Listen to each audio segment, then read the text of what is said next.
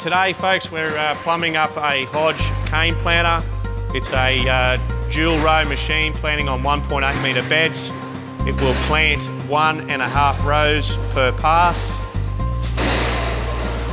And VNet have been engaged by the customer to install uh, dual rate control on the liquid system and dual rate control on the dry system.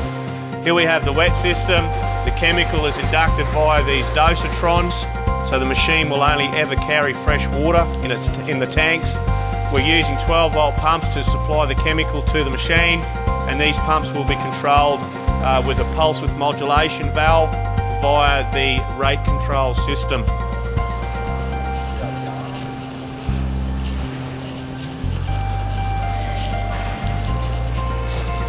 As you can see inside the main hopper here, we have a variable rate chain on the floor and a variable rate chain in the main elevator, which is carrying the cane up to be planted. Uh, both of these systems will be controlled with uh, rate control systems that allow the machine to uh, vary the rate faster or slower as we move up and down the field.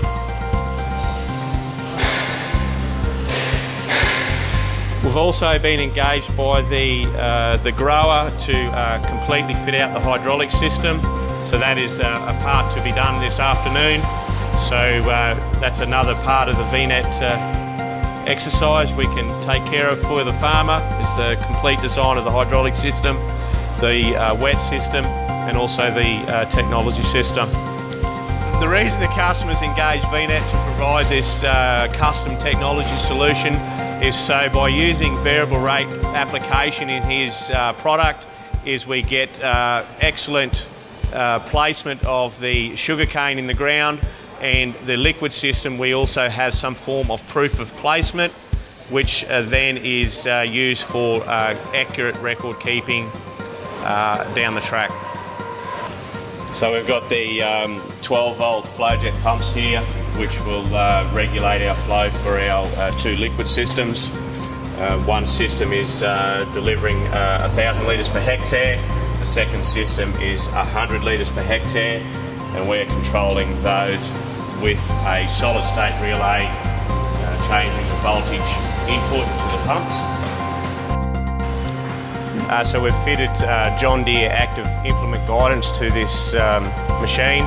It allows the operator to uh, have uh, clean headland turns and also allows the machine to follow its own AB line independent of the tractor. Uh, John Deere technology we've been using for quite some time.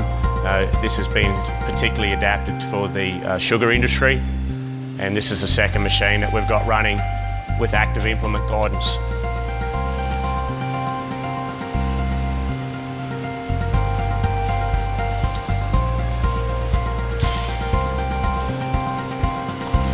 VNet had also been engaged to design the hydraulic system for this particular unit.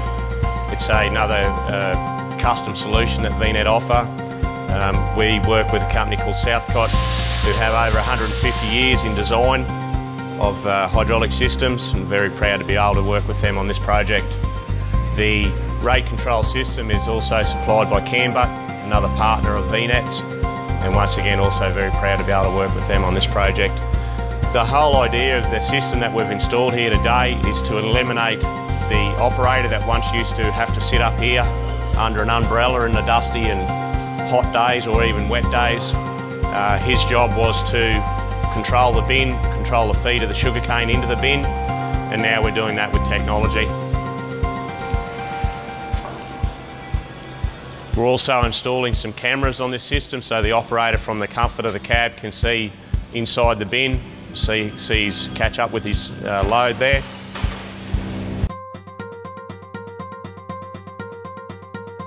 So uh, Chris here is uh, loading some new software. It's uh, trial software that we've uh, designed uh, especially for the sugar industry to be able to help us with the controlling of the cane planter that we've got here today.